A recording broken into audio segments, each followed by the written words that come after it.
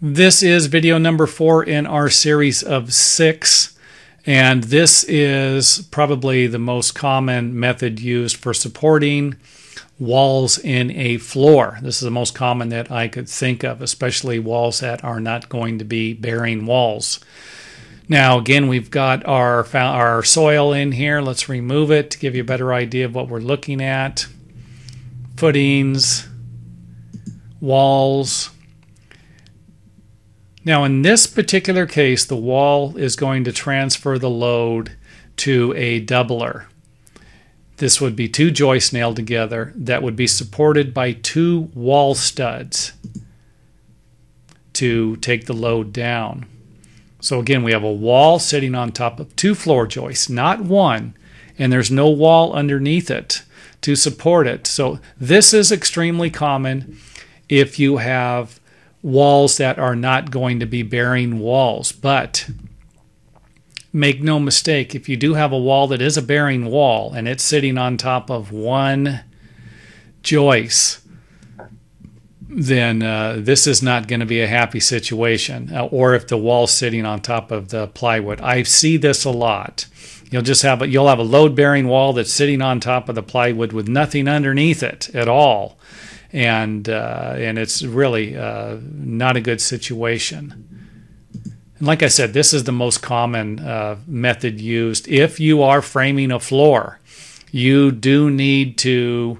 Um, the, usually, the architect or the engineer will call out for make sure there's a double joist underneath each um, wall that runs parallel to the joist. If they are running perpendicular, then then it's being supported by a lot of different joists. If it's running parallel, then it could just be supported. It's just going to be supported by two joists, and you don't want it to be.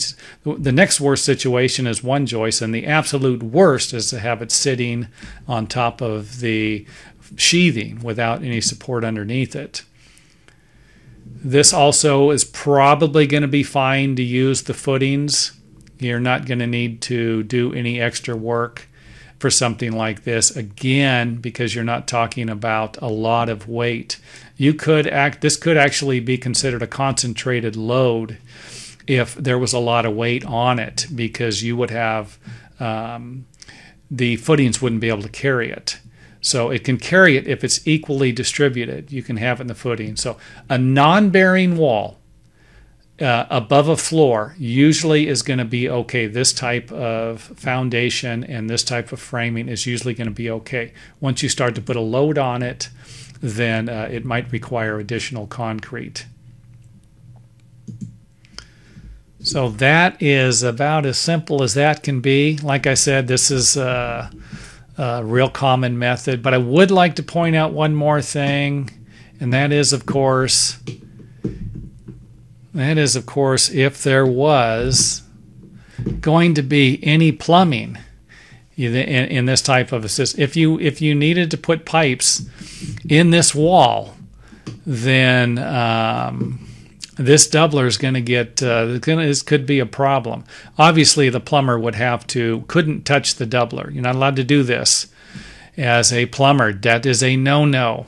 You could actually go in at an angle. So if you're putting a sink in and you were going to have a cabinet covering the uh, plumbing, then it would be okay to, to drill at an angle and, and come up into the wall to where you wouldn't touch the the beam. But if you were actually venting from floor to floor or something where you had uh, a drain that needed to go down, uh, this could be a a nightmare. This really could.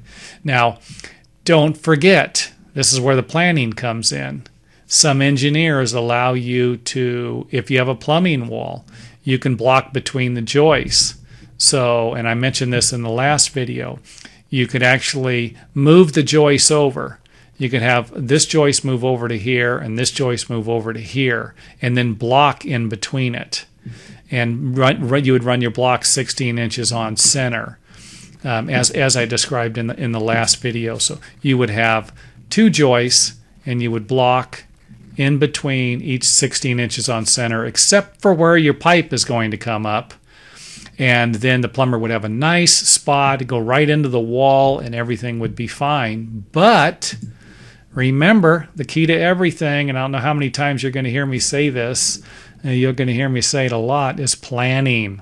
So this would be a nightmare situation to come into. And, and, and again, I've seen it, I've probably seen it at least 50 times minimum in my career. I've seen a doubler in the way of a plumber because the framer knew what he was doing, went ahead and built the wall and figured, hey, this would be great.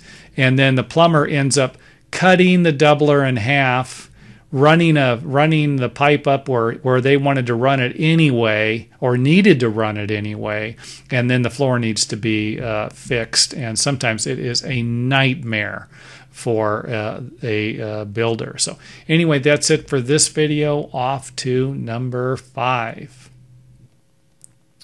Go to the website for more videos on walls and engineering. I will also have a complete list of the videos in this series along with other videos that I have already made.